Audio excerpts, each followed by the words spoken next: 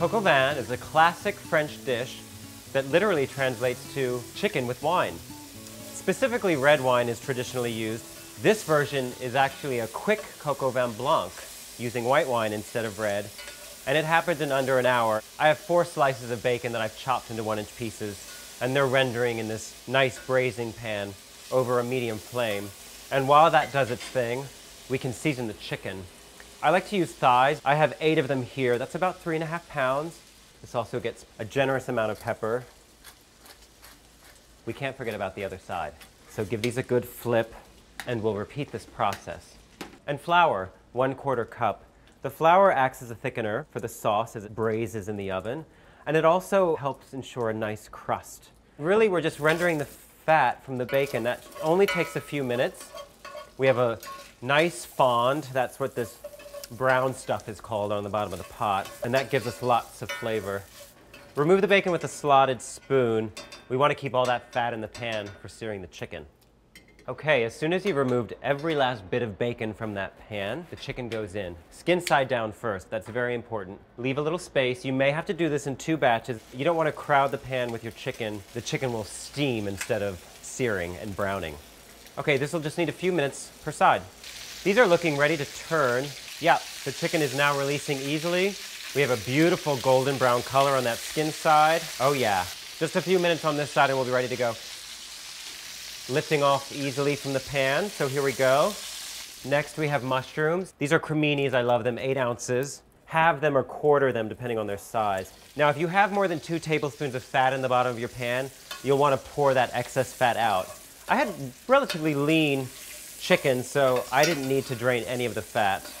I have a 10 ounce package of pearl onions here, frozen, that have been thawed and drained. Season again here, little salt and pepper. You want these vegetables to turn golden brown in places. And that'll take about eight minutes. And just stir occasionally, don't stir it constantly or you won't get any nice color on your vegetables. Ah, yes, the mushrooms have a beautiful golden brown color. The onions also. Now, one of my favorite secret weapons in the kitchen, tomato paste. Lots of flavor. And I always like to caramelize it in the bottom of the pan briefly before adding the wet ingredients. So two tablespoons goes in and stir that about. This will provide an even deeper, richer flavor to your finished dish. Just about 30 seconds. Okay, and wine. Good, dry white wine. I like Sauvignon Blanc.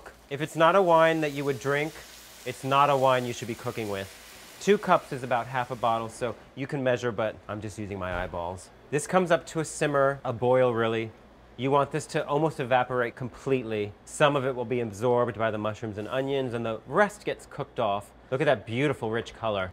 Deep mahogany red, it's so pretty. This will take just a few minutes to boil down and evaporate. We can add in the chicken broth. You'll want one and three quarters cup. As this comes to a boil, return your chicken to the pot and all of these juices that have collected in the bottom of this pan, that's a lot of flavor. I call that money in the bank. Add all of that right back in. You don't want to miss a drop. Now your work here is almost done.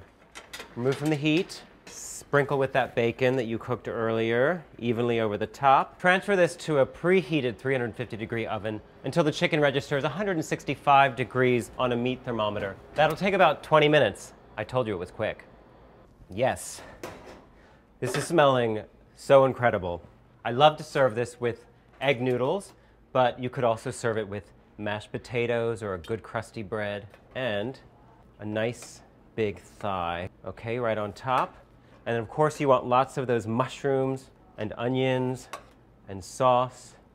And the finishing touch, just for something fresh and bright, parsley leaves. And this is a wonderful weeknight, weekend, or anytime meal. Quick Coq au vin blanc. Happy eating.